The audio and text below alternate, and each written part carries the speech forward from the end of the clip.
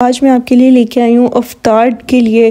बहुत ज़बरदस्त सी रेसिपी है और बहुत क्विकली बन जाती है और बड़े क्या छोटे भी इसको बहुत ज़्यादा पसंद करेंगे। तो चलें जी, जल्दी से रेसिपी को स्टार्ट करते हैं। यहाँ पे मैंने ले लिया है रोस्टेड चिकन जिसकी डिटेल आपको मेरी इस वीडियो में मिल जाएगी, ठीक है? इसको हमने रेशे कर लेने हैं, यानी कि इसको हमने छोटे छोटे पीस में कर लेना है। इस तरह हमने इसको यूज़ नहीं करना।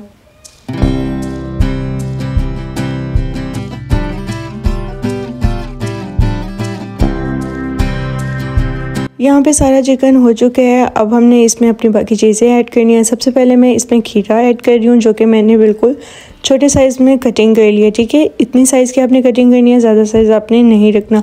थोड़ी सी मैंने इसमें बंद गोभी यूज़ की है, इसको भी आपने बरीक कटिंग कर लेनी है, ठीक है?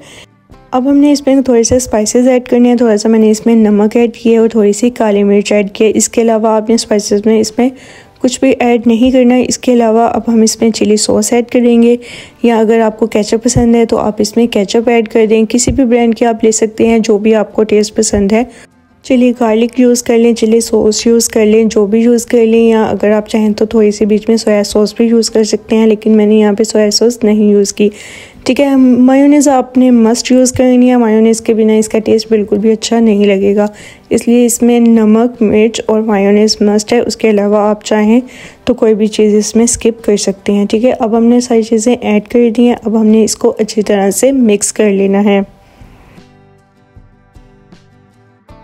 ओके okay जी, यहाँ पे हमारा मिक्सचर रेडी हो चुका है और ये देखने में ही इतने मज़े का लग रहा है। अगर आप इसके सैंडविच बनाना चाहते हैं तो भी आप इसके बना सकते हैं, ठीक है?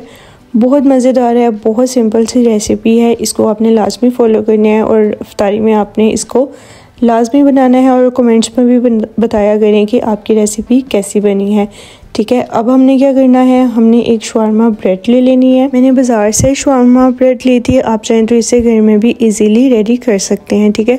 अब हमने इसे सेंटर से कट कर देना है और आगे आप देखते जाएँ कि क्या ही ज़बरदस्त अफ्तारी के लिए रेसिपी तैयार होगी।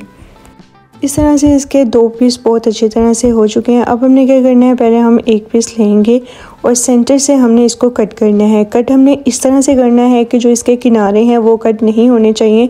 जस्ट हमने सेंटर से इसको कट करना है और इसके अंदर हमने फिलिंग कर देनी है।